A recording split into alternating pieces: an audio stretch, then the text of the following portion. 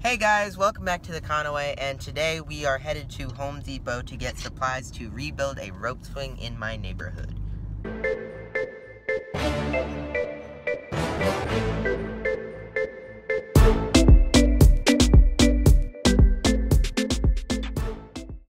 Before I moved to this neighborhood, a group of high schoolers created what is now known as the rope swing. They dammed off a river, creating a pool of water, and built a rope swing tied to a tree and a ladder to go along with it. People could swing off of this and jump into the water, and since then and in the past few years, my friends and I have used this all the time to have some fun and cool off. Recently, the rope actually broke on the rope swing, and my friend Michael and I decided to take it upon ourselves to rebuild it with my dad's help. So here's the footage of us doing that.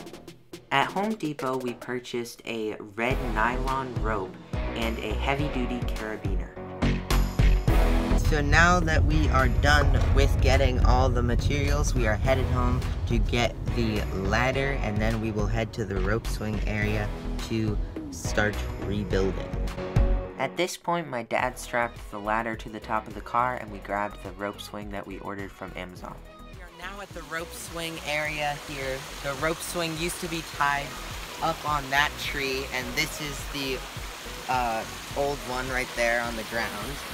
So basically what we're going to do is attach the ladder to that tree, climb up, and put the rope up there. Process was actually pretty simple. We attached the ladder to the tree and I held onto it at the bottom as my dad climbed up to tie the nylon rope around the tree. Once it was looped through, we dropped it down and connected it to the swing.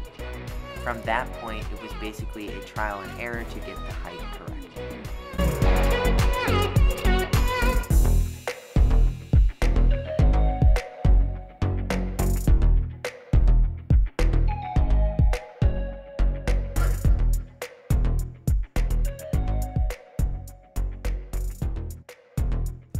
After about half an hour of trial and error and a few test runs, it was ready to go.